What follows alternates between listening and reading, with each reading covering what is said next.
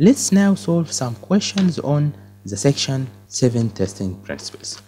The first question, why is it important to avoid the pesticide paradox? Dynamic testing is less reliable in finding bugs. Best sides mixed with static testing can allow bugs to escape detection. Tests should not be context dependent. Running the same tests over and over will reduce the chance of finding new defects. The definition of the best paradox is when we run the same tests over and over, there is a less chance that we find a new defects. Which of the following is a true statement about exhaustive testing? It is a form of stress testing, of course not. Exhaustive testing is not a form of stress testing.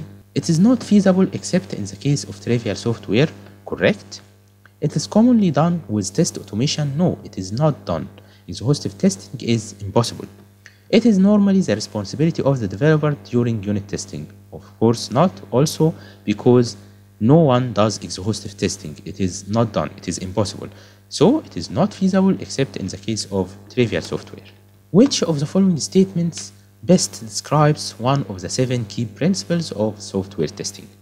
Automated tests are better than manual tests for avoiding the exhaustive testing. Exhaustive testing is, with sufficient effort and tool support, feasible for all software. No exhaustive testing is impossible. And not all the time automated testing better than manual testing.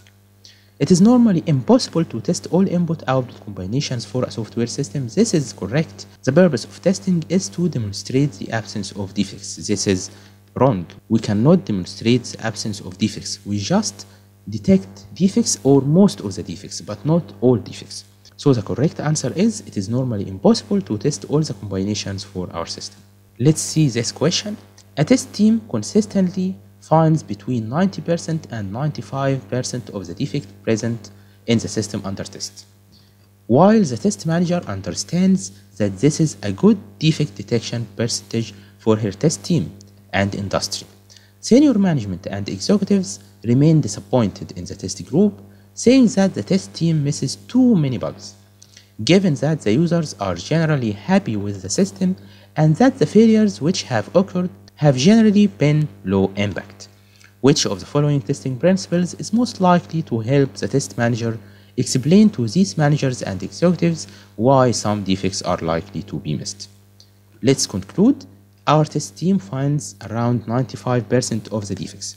The test manager is happy with this percentage, but the senior management are not happy with the test team.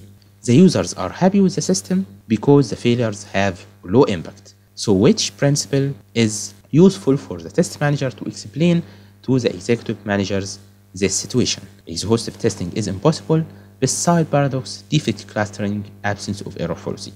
The correct answer is exhaustive testing is impossible. Why? It is impossible to test all input-output combinations, which means that it is impossible to find 100% of defects. Next question. A programmer is working on code which is very complex. Which of the following is a general testing principle that may affect his work? Defect clustering, pesticide paradox, exhaustive testing is impossible, absence of error fallacy. So this programmer has a complex code and he wants to unit test it. It is impossible to test all the combinations and it is very hard to cover most of the modules of this system because it is very complex. So if this programmer uses defect clustering, he can understand which modules are responsible for the most type of defects or the most type of risks and guide the testing to those clusters. According to the ISTQB glossary, the word bug is synonymous with which of the following? Error, incident, defect, or mistake. Of course, the word bug is synonymous with defect or fault.